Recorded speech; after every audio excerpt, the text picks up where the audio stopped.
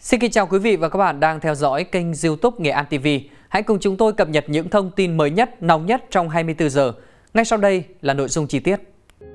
Vừa qua, một vụ va chạm giao thông giữa hai xe mô tô xảy ra tại Hà Tĩnh đã khiến đại tá công an tử vong trên đường đi cấp cứu. Theo thông tin ban đầu, vụ việc nói trên xảy ra vào khoảng 15 giờ 30 chiều 30 tháng 10 tại ngã ba giao nhau giữa đường Nguyễn Tuy và đường Hồ Chí Minh, đoạn qua địa phận thị trấn Hương Khê, huyện Hương Khê, tỉnh Hà Tĩnh.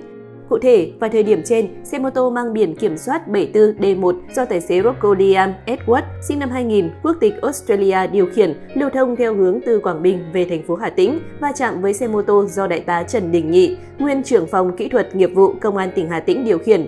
Cú va chạm mạnh khiến ông Nhị bị thương nặng được đưa vào bệnh viện cấp cứu nhưng được xác định đã tử vong trước đó. Trưởng công an huyện Hương Khê đã xác nhận thông tin vụ tai nạn nói trên và cho biết vụ tai nạn liên quan đến yếu tố người nước ngoài nên đơn vị đang làm công văn gửi các bên liên quan để có hướng xử lý. Được biết, trước khi nghỉ hưu, Đại tá Trần Đình Nhị từng đảm nhiệm chức vụ trưởng công an huyện Vũ Quang, trưởng phòng kỹ thuật nghiệp vụ công an tỉnh Hà Tĩnh. Hiện lực lượng chức năng đang tiến hành điều tra và làm rõ nguyên nhân vụ tai nạn.